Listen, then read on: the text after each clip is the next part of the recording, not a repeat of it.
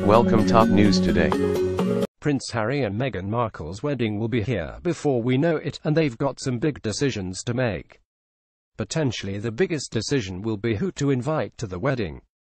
Unfortunately, they've already got some controversy stirring up over the guest list. One person who likely won't be getting an invite is the President of the United States, Donald Trump.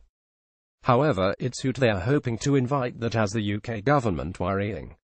Here's how Harry and Markle may be about to snub Trump in a major way. Harry and Markle want to invite the Obamas to the wedding, but not the Trumps. Prince Harry and Meghan Markle are causing controversy over the wedding guest list. Chris Jackson Getty Images When Harry and Markle tie the knot on May 19, 2018, they'd love to see Barack and Michelle Obama in attendance. However, they're not planning to invite Trump and his family. If we know anything about Trump, he wouldn't take this decision lightly. According to a senior government official, Harry has made it clear he wants the Obamas at the wedding, so it's causing a lot of nervousness.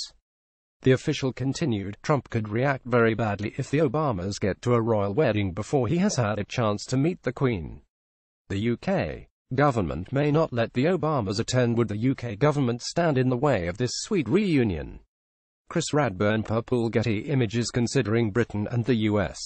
Our allies, the UK government may not let the Obamas attend. The government isn't fully in control of the royal wedding. However, they do have the power to pressure Buckingham Palace in making guest list decisions. If the Obamas are invited, but Trump is not, it could potentially destroy any international relations still standing between the countries. Tensions are already high between Trump and Britain. Tensions have been high between British Prime Minister Theresa May and President Donald Trump. Brendan Smialowski of Getty Images Maybe the UK government would feel differently if Trump's relationship with Britain wasn't already strained.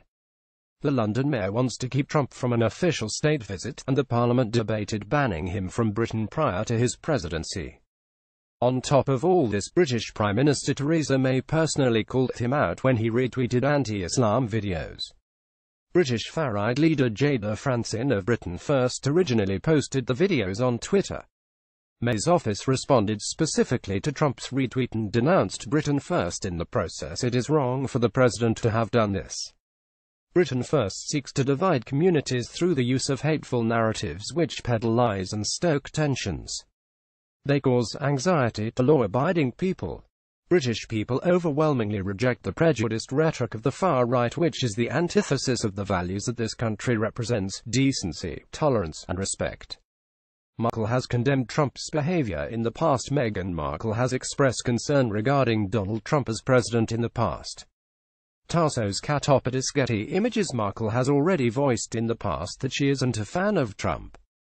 As a guest on The Nightly Show with Larry Wilmore in May 2016, Markle was asked how she felt about Trump running for president.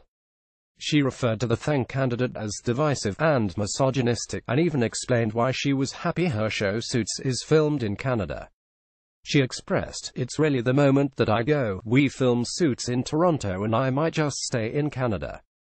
I mean, come on, if that's reality we are talking about, come on, that is a game changer in terms of how we move in the world here.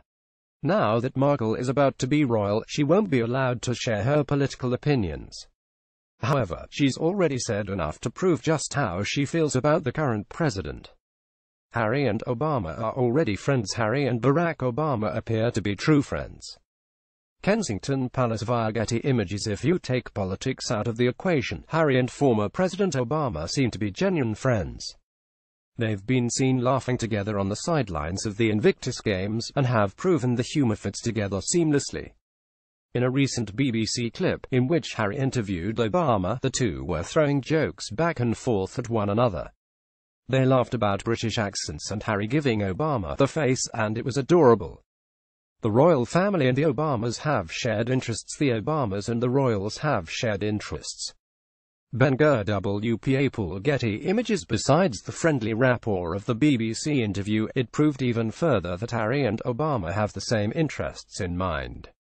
According to Kensington Palace, the interview involved conversation regarding shared interest in building platforms for the next generation of young leaders. Obama also shared memories of the day he left office and his hopes for his post-presidential life. However, this wasn't the first time they've joined together for similar discussion. In May 2017, the royal family had Obama as a guest at Kensington Palace.